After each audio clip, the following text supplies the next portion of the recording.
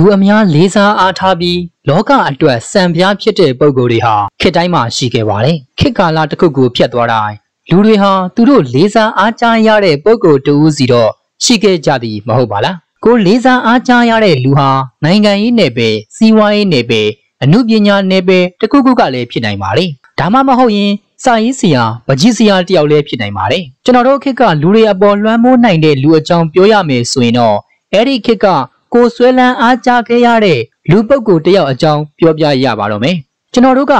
1960ခုနှစ်မှာမွေးတဲ့လူတွေဆိုတော့ကိုနည်းနည်းလေးကြီးပြင်းလာတဲ့အချိန်မှာကြုံစုံသိမြင်ရတဲ့အရာတွေတဲက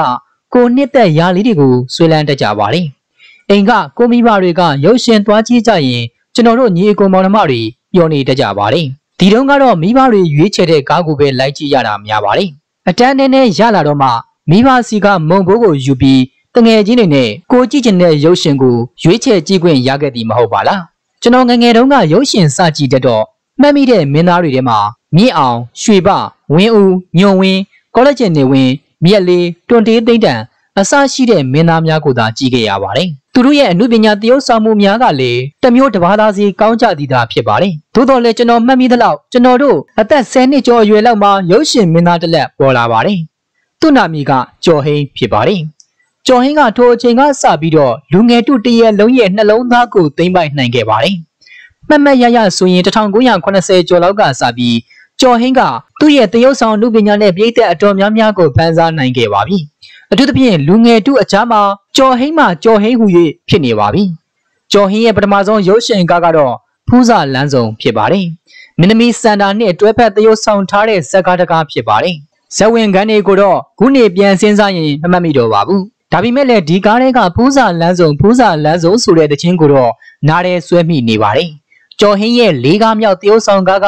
နုနုငငယ်ဖြစ်ပါတယ်။ကျော်ဟိန်းနဲ့ဆန္ဒပါဝင်တရုတ်ဆောင်ထားတဲ့ဇကားဖြစ်ပါတယ်။ထိုနုနုငငယ်ဇကားထဲမှာမင်းသားကျော်ဟိန်းကိုလူပိုတိများလူကြိုက်ပိုများခဲ့ပါတယ်။ဒီဇကားတွေကကျော်ဟိန်းကိုယ်တိုင်တီးဆိုခဲ့တဲ့တခြင်းကတော့ထိုခေတ်အခါကလူအများကြားမှာအလွန်ရေပန်းစားခဲ့ပါတယ်။တခြင်းအမိကချစ်တလားမုံတလားပြောပါလားတခြင်းဖြစ်ပါတယ်။ ချစ်တလားမုံတလားဟာနုနုငငယ်ဇကားကဇဝင်ကန်တခြင်းဖြစ်ပြီးထိုတခြင်းကိုကျော်ဟိန်းကိုယ်တိုင်တီးဆိုပြီးမင်းသမီးစန္ဒာနဲ့အတူသရုပ်ဆောင်ခဲ့ပါတယ်။ထိုချစ်တလားမုံတလားတချင်းကိုကျော်ဟင်းကတကောလုံးတွန့်လင်ကပြီးဆိုပါတယ်။ပြည်တဲ့လူငယ်တို့တရက်လုံးကအင်မတန်ကြိုက်ကြတော့လဲလူကြီးပြည်တဲ့များကတော့တကောလုံးတွန့်လိမ့်နေလို့မျက်နာကိုရှုံမဲ့ပြီးကနေရတဲ့ကျော်ဟင်းကိုမကြိုက်ကြပါဘူး။သို့တော်လဲကျော်ဟင်းကတော့ကြော်ပြီးရင်ကြော်လေပါတယ်။ ကျွန်တော်ပြောချင်တာကမင်းသားကြီးကျော်ဟင်းရဲ့ခေအဆက်ဆက်အောင်မြင်မှုအကြောင်းအရာတွေပါ။သူ့ရဲ့အောင်မြင်မှုနောက်ွယ်ကနေကပ်ပါလာတဲ့လူငယ်တို့အပေါ်ကျော်ဟိန်းဘာလို့လို့အဂုံကြိုက်တဲ့ကျော်ဟင်းရဲ့လွှမ်းမိုးမှုတွေအကြောင်းဖြစ်ပါတယ်။တကယ်လဲထိုအချိန်ကကျွန်တော်အပါအဝင်လူငယ်အားလုံးကျော်ဟိန်းဘာလို့လို့လိုက်လို့ပြီးအတူခေါ်အတူယူကျင်တဲ့လူတွေကြီးပါပဲ။ကျော်ဟင်းရဲ့အောင်မြင်မှုနောက်ကကပ်ပါလာတဲ့လူငယ်တို့အပေါ်လွှမ်းမိုးမှုကအတော်ကိုကြီးပါတယ်။နေရာတိုင်းမှာကျော်ဟင်းအသွင်ကျော်ဟင်းဟန်ပန်ပြောဆိုပုံတွေကြီးပဲတွေ့နေရပါတယ်။ ကျော်ဟင်းရဲ့နုနုငငယ်ပြီးတဲ့နောက်ကျွန်တော်နာမည်ကျော်ကျော်တန်လက်သီးနဲ့ကရာတေအချစ်တပွဲစစ်ပွဲတရားကားတွေဆက်တိုက်ထွက်လာပါတယ်အကုန်ကြိုက်ပါတယ်အချစ်တပွဲကဒါရိုက်တာစိန်ဖေတင်ရိုက်တာဖြစ်ပါတယ်ကျော်ဟိန်ခင်တန်းနုကအဓိကဆက်ဆောင်ပါဇက်ကားကတွတ်တဲ့အပြင်တရုတ်ဆောင်များရဲ့ကောင်းမွန်မှုတွေကြောင့်လူကြိုက်များတဲ့ဇက်ကားလေးဖြစ်ပါတယ်ထိုကားထဲမှာဇဝင်ကန်းတစ်ခုကကျော်ဟိန်ကိုတိုင်ခင်တန်းနုကိုနောက်ပြောင်ဆိုခဲ့တဲ့ဒေါက်တာရန်ကိုသချင်းလေးကိုကျွန်တော်အခုအထိမမေ့သေးပါဘူး ကျော်ဟင်းရုပ်ရှင်လောကထဲဝင်ရောက်လာပြီး၄နှစ်ပြည့်ချိန်မှာပထမဆုံးဒါရိုက်တာလုပ်ပြီးရိုက်ကူးခဲ့တဲ့ဇက်ကားကစိန်သို့မဟုတ်စိန်ဖြစ်ပါတယ်ဒီဇက်ကယုံတင်တော့ကျွန်တော်တို့လူငယ်တွေအားလုံးခိုက်သွားကြပါတယ်အဖြူရောင်ပိုစတာနောက်ခံမှာကြော်ဟင်းတင်ပြရဲဆိုတဲ့စိန်သို့မဟုတ်စိန်ဆိုတဲ့ခေါင်းစီစလုံးကိုမြင်ုံမှာပင်ကြော်ဟင်းရဲ့ဇက်ကကပေါက်ကြနဲ့ယုံတင်နဲ့ပထမနေ့ပထမဆုံးပွဲကိုရောက်လာတဲ့လူအုပ်ကြီးကိုမြင်ုံနဲ့ပင်သိနိုင်ပါတယ်အမှုပညာရှင်ကြော်ဟင်းရဲ့တင်ပြမှုအသစ်တချို့ထဲမှာ အတန်ပိုင်းဆိုင်ရာအချို့ပါပါတယ်တချို့အခန်းတွေမှာလည်းအတန်တိုးနေတယ်လို့ဖြစ်ဒီမှာအပကျွန်တော်တို့သဘောကျပါတယ်ဒီကားမှာကျော်ဟိန်းနာမီကလူခွေးပါ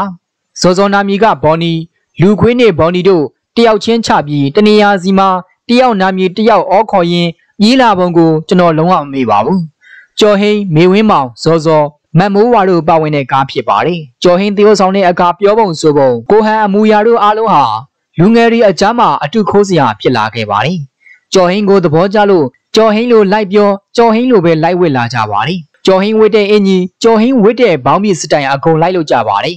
ကျော်ဟင်းစပင်ကအတော်အကောက်လေးတွေနဲ့အုံလိုက်ကြီးပွားရောင်ရောင်ဖြစ်နေတာကိုပင်ကျွန်တော်တို့ကိုယ်စပင်ကိုလက်နဲ့ဖွာ၍သူ့လိုလိုက်လုံမိကြပါတယ်လမ်းလျှောက်ရင်လည်းကြော်ဟင်းလမ်းလျှောက်တယ်လို့လက်နှစ်ဖက်ကိုခါပြီးလျှောက်တတ်ကြပါတယ်စကားပြောရင်တောင်သူ့လိုမပွင့်တပွင့်ပြောလာကြလို့ကျွန်တော်အဖေဆိုရင်ကြော်ဟင်းကိုကြည့်မရပါဘူး ဘယ်လိုမင်းသားလဲကွာစကားပြောတော့တောင်မပွင့်တပွင့်နဲ့ကိုကတွန့်လိန်ပြီးဘောင်းမီဖင်ချက်နဲ့လမ်းလျှောက်ပြနေတာကိုမင်းတို့ကကြိုက်နေကြတယ်လို့အပြစ်စကားဆိုဘူးပါတယ်သို့တော်လည်းကျွန်တော်တို့ကတော့ဘယ်သူတွေဘာပဲပြောပြောကြော်ဟင်းစတိုင်းမှာကြော်ဟင်းဖြစ်ခဲ့ကြပါတယ်အဲဒီလောက်အထိကြော်ဟင်းကလူငယ်တို့အပေါ်လွှမ်းမိုးနိုင်ခဲ့တာပါနောက်သိမကြခင်မှာပဲနောက်ထပ်စကားတကားထပ်ထွက်လာပါတယ်မှတ်မိပါသေးတယ်ပကြီးစိုးမိုးရိုက်ကူးခဲ့တဲ့ကားဖြစ်ပါတယ်ကျော်ဟိန်တင်တင်ညိုတို့ပါဝင်တဲ့ဂရေ80တထေသားဖြစ်ပါတယ် ထိုစကားမှာလောင်ကစားကြောင့်မိဘအမွေကုံသွားပြီးလမ်းဘေးရောက်သွားရတဲ့ကျော်ဟင်းကိုပန်းဆိုးရန်နန်းတီတာစပွဲယုံအောက်လေကားမှာစစ်အုပ်ထုပ်အဟောင်းတစ်လုံးကိုခန့်ခိုင်းခိုင်းဆောင်းပြီးသူများပြစ်ချသွားတဲ့စီကရက်ကိုကောက်တော့ရတဲ့ဇဝင်ကမ်းမှာတွေ့ရပါတယ်။သူကိုလူကြိုက်များနေတဲ့အချိန်မို့သူဘာလို့လို့သဘောကျကြပါတယ်။ဒါကအတူခိုးစရာအားကြစရာမဟုတ်လောင်ကစားကြောင့်ဘဝပြတ်သွားတာကို သင်ခန်းစာယူရန်တင်ပြထားတော့လေကျွန်တော်တို့ကကြော်ဟင်တရုတ်ဆောင်တာကိုအားကြပြီးအဲ့ဒီတုန်းကသူဆောင်းတဲ့ဂျန်ကဲဟက်ခေါ်တဲ့စစ်အုပ်ထုပ်အစိမ်းကိုတန်စည်းမှာရှားဝယ်ပြီးဆောင်းကြပါတယ်လူငယ်တူအားလုံးရဲ့ခေါင်းပေါ်မှာစစ်အုပ်ထုပ်တစ်လုံးစီရောက်သွားကြပါတယ်ကြော်ဟင်းဝစ်တဲ့စီအင်းကြီးအားလုံးအပေါ်မှာလည်းစီအင်းကြီးဖြစ်သွားပါတယ်လူစော်မှာကြော်ဟင်းစစ်လွယ်အိတ်လွယ်တော့ကျွန်တော်တို့လိုက်လွယ်ကြပါတယ်ကြော်ဟင်းကိုသဘောကျနှစ်ချ၍အားကြအတူခိုးကြပါတယ်မောင်အချစ်တီဇက်ကားတင်တော့လေလူကြိုက်များပြီးထိုကားတွေကအတိုင်းသပင်ရှင်နဲ့ဘကွက်ကြားကို ကြော်ဟင်းအတိုင်းလိုက်လုခဲ့ပူကြပါတယ်လူငယ်ဆိုဒီကသူတို့အားကြနှစ်သက်သူရဲ့အပြုအမူကိုလိုက်တူးတက်ကြသည်ကသဘာဝပါပဲသို့တော်လည်းထိုပုဂ္ဂိုလ်ကလည်းသူ့ရဲ့အပြုအမူအမားတွေကိုလူငယ်တွေအတူခုံမမားကြစေဖို့လဲသူ့မှာတာဝန်ရှိတယ်မဟုတ်ပါလားပြောင်းလဲလာတဲ့လက်ရှိခေတ်ကာလမှာတော့ကဘာကြီးနဲ့အတူပြောင်းလဲသွားခဲ့တဲ့အတူခိုးအားကြစရာလူပုဂ္ဂိုလ်အမျိုးမျိုးကကဘာနယ်ပယ်အသီးသီးမှာပေါ်ထွက်လာတာကိုအားကြအတူခိုးနေကြပြီပဲဖြစ်ပါတယ်ကျွန်တော်တို့ခေတ်ကဘောင်ကျင်းပါတယ်တပါတီအာနာရှင်စနစ်အောက်မှာ အမြင်ချင်းမြောင်းစွာနဲ့နေကြရပါတယ်ဒီနေ့ခေတ်ကဘာကြီးမှာတော့အားကြစရာတွေများပါတယ်အတူခိုးစရာတွေလည်းတပုံကြီးပါပဲကျွန်တော်မှတ်မိတဲ့လောက်ကတော့ကျော်ဟင်းဆိုတဲ့လူကြီးဟာသူ့ရုပ်ရှင်တက်တန်းအနှစ်40နှစ်အထိကျွန်တော်တို့အားကြအတူယူစရာတွေအများကြီးခြံခဲ့ပါတယ်။ပါမန်လောက်ဆိုရင်တော့ကျော်ဟင်းရဲ့အမှုပညာတရုပ်ဆောင်မှုလောက်ကိုတော့ကြည့်နေမိမိဖြစ်တော့လဲတကယ်တမ်းအမှုပညာလောကမှာကျော်ဟင်းကဗတ်စုံတော်တဲ့စံရထားတဲ့အမှုပညာသမားတူဖြစ်ပါတယ်။ ငယ်နာမီကျော်ထီးခေါ်မောင်မောင်ကျော်လို့ခေါ်တဲ့ကျော်ဟင်းဟာအဖဦးကျော်မောင်စိန်အငိမ့်စားခရိုင်ရဲဝန်အမိဒေါ်ချိုချိုတို့ကနေ1948ခုနှစ်ဇူလိုင်14ရက်နေ့မှာစမ်းချောင်းမြို့နယ်၌မွေးဖွားခဲ့ပါတယ်။သားသမီး6ယောက်အနက်4ယောက်မြောက်ဖြစ်ပါတယ်။ကျောင်းနေရမယ့်အချိန်ကစလို့ကျောင်းထားခဲ့တော့လေပညာရေးစိတ်ဝင်စားမှုအားနည်းခဲ့ပါတယ်။အပေါင်းအသင်းများနဲ့ပျော်ပါခဲ့ပြီးစိန်ကော်လီခိုင်းဝင်တူဖြစ်တယ်လို့လည်းဆိုပြန်ပါတယ်။ အပေါင်းအသင်းစုံပါတယ်။အလုတ်စုံလည်းလှုပ်ဖူးပါတယ်။နောက်ဆုံး10တန်းခါဖြင့်အောင်ပြီးရေတက်ထဲဝင်ခဲ့ပါတယ်။နောက်မကြခင်ပြန်ထွက်လာခဲ့ပြီးသတင်းစာဖြတ်ပိုင်းတစ်ခုကြော်ညာကိုတွေ့လို့ရုပ်ရှင်အစည်းအရုံးကခေါ်ယူတဲ့တရုတ်ဆောင်တင်တန်းကိုတငယ်ချင်းများပံ့ပိုးပေးတဲ့ပတ်စံနဲ့ဝင်ရောက်အရွေးခံခဲ့ပြီးတရုတ်ဆောင်ဖြစ်လာခဲ့သူပါသူတရုတ်ဆောင်ဖြစ်လာပုံနဲ့ပတ်သက်လို့ဒါရိုက်တာဆရာမောင်မိုးသူပြောပြချက်အချို့ကိုကြားသိခဲ့ပူပါတယ်မောင်ကျော်ကအဲ့ဒီနေ့အရွေးခံဝင်လာကြတဲ့ကဘာဖသိရတယ်သူကတတိရှိတယ် အရှက်အကြောက်နေတယ်ပြီးတော့သူကအိုဘာလောက်တတ်တယ်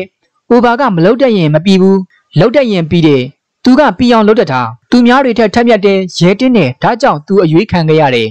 နောက်ပြီးသူမင်းသမီးစန္ဒာနဲ့အိမ်အောင်ကြတဲ့1968ခုနှစ်မှာစန္ဒာတွဲခေါ်လို့ရုပ်ရှင်နယ်ပယ်ထဲစရောက်ခဲ့ပြီးဖူးစာလမ်းဆောင်ဇက်ကားစရိုက်တယ်။နောက်ပြီးဒါရိုက်တာဝိုင်းတင်အောင်မြင်ဦးရဲ့နုနုငငယ်ဇက်ကားမှာစပြီးအောင်မြင်တယ်။ အဲဒီကားမှာပါတဲ့ချစ်တလားမုံတလားပြောပါလားမူသားမသုံးနဲ့လေဆိုတဲ့တခြင်းဟာရေပန်းစားအောင်မြင်ခဲ့ပါတယ်။ကျွန်တော်ကြော်ဟင်းကားတွေအများကြီးကြည်ဘူးပါတယ်။ကြိုက်လဲကြိုက်ပါတယ်။သို့တော့အကုန်လုံးမဟုတ်ပါဘူး။တချို့ကားတွေက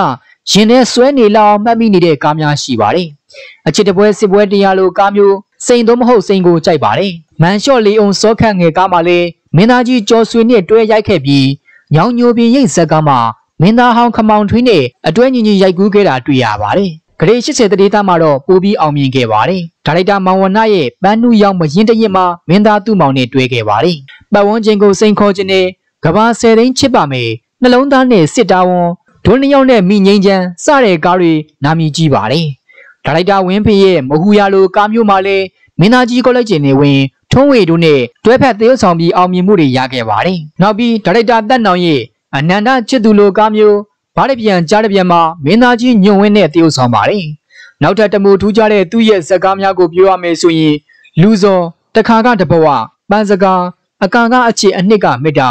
မွန်းတဲ့ချိန်မှာနေဝင်နေလွမ်းငွေဝေဝေနေကြောက်ခဲတေစာပြင်းမငုတ်တူမောင်းချစ်သူနွယ်နွယ်ထွန်းမောင်းအချစ်တီရီစိမ့်နဲ့တေစာကြီးအောင်ဆောင်တဲ့တောင်ရမတ်စောလွမ်းနေမယ်မမစုံရီပန်းမြိုင်လေကဥယျာဉ်မှု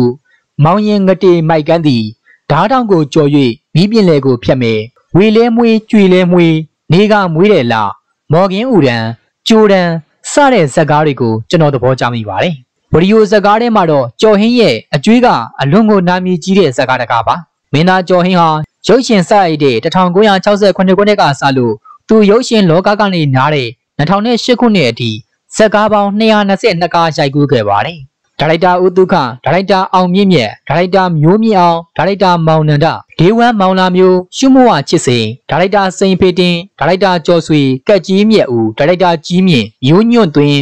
မောင်တင်ဦးကိုစိန်အောင်ဒါရိုက်တာသက်နောင်ဒါရိုက်တာဝင်းဖေဒါရိုက်တာမင်းဆွေအစရှိတဲ့ဒါရိုက်တာပေါင်းများစွာနဲ့ရိုက်ကူးခဲ့ပါတယ်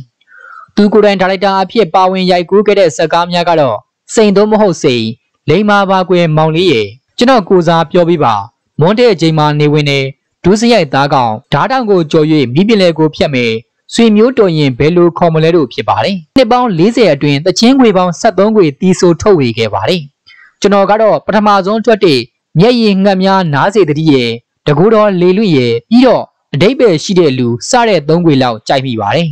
ရေးသားခဲ့တဲ့စာအုပ်တွေအနေနဲ့စာအုပ်6အုပ်ရေးသားခဲ့ပါတယ်ကျွန်တော်ကိုစားပြောပြပါ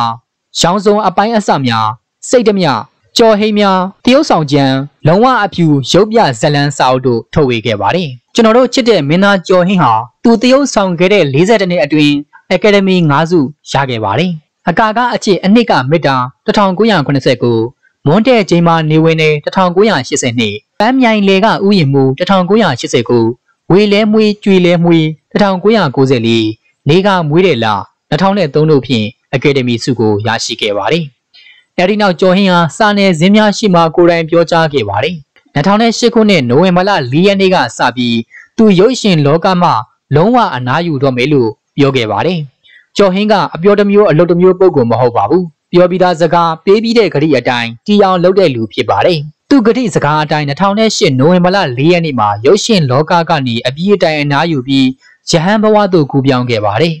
ဘွဲတော်အမည်မှာဥကိတ္တိတရာဖြစ်ပါတယ် ရဟန်းမိုးမီကလည်းကျော်ဟင်းရဲ့နောက်ဆုံးခရီးစဉ်ဆိုပြီးသူ့ကိုအားပေးတဲ့မြန်မာနိုင်ငံကရုပ်ရှင်ကြီးပြည်သက်သည့်အတွက်ကျေးဇူးဆက်ရန်ကြည်သွန်ဖျားကြီးတဆူတည်ထားခဲ့ပြီးအတိတတိဖျားလို့ဘွဲအမည်ပေးကရန်ကုန်မြို့မှာရှိတဲ့ဘူတထောင်ဖျားဝန်းအတွင်တည်ထားခဲ့ပါတယ်။ရဟန်းဝတ်နဲ့ရေးသားခဲ့တဲ့စာအုပ်၄အုပ်ရှိပါတယ်။စိတ်တမြတေကြလားသင်ငန်းစာမေခွန်းဖြစ်လာရတဲ့ဖြစ်ကြောင်းကြောင့်ခံစားနေတဲ့စိတ်ကိုစွန့်လွတ်လိုက်ပါဆိုတဲ့စာအုပ်တွေဖြစ်ပါတယ်။ ကျော်ဟင်းဟာရုပ်ရှင်လောကမှာလည်းထူးချွန်ပြောင်မြောက်တဲ့အမှုပညာသရုပ်ဆောင်ကောင်းတူဖြစ်တဲ့ကဲ့သို့သူရှောက်လန်းခဲ့တဲ့ဘဝမှာလည်းအခက်အခဲမျိုးစုံကိုအောက်ခြေကစပြီးကြော်ဖြတ်ခဲ့က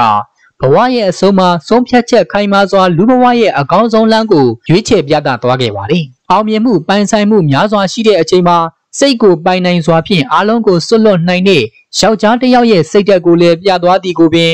ပို၍ပင်ဂုံယူအားကြမျက်နှိုးစရာကောင်းလာပါတယ်။